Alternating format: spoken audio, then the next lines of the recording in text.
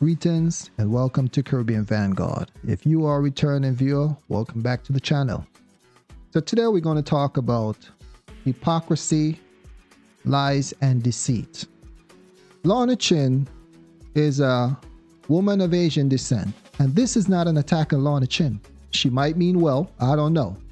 But a lot of the things she does is very deceptive on her Instagram, she have this story talking about the difference between colonialism and predatory lending. It seems to me that she was defending predatory lending. You can be the judge of it.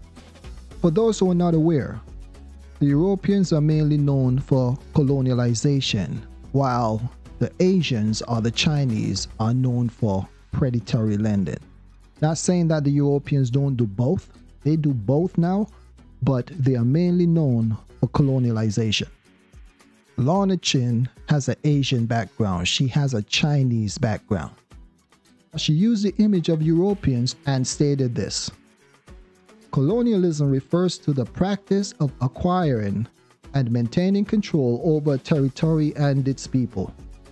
This control involves the establishment of settlements and the imposition of the colonizer's culture, language, and governments on a population. It often results to significant social, economic, and political changes. In contrast, predatory loans involve lending practices where the lender exploits the borrower, often through unfair or deceptive terms that are not in the borrower's best interest. While predatory loans can lead to significant economic hardships and dependency, they do not equate to colonialism. Colonialism involves direct control and governance over a country, including political and cultural domination. Predatory loans do not involve direct administration or cultural imposition, characteristics of colonial rule. Then she ended it with this statement Learn the difference and call it what it is. Stop spreading misinformation and hate mongering and stop blaming random Asian people for your problems. At first glance, it sounded like she was going to be fair and impartial in rendering judgment. It seems like she was going to say that both predatory lending and colonialism is just as deadly. They are just as dangerous. They are just as wicked they are just as evil. But no, there was a twist in the end. She is really telling you that predatory lending is really not that bad. Even though it is exploiting the borrower and may cause a bit of an economic hardship, it is nothing like taking over a culture. But how does she really know? Is she sitting in the meetings with these people? Do she know their 100 year plans?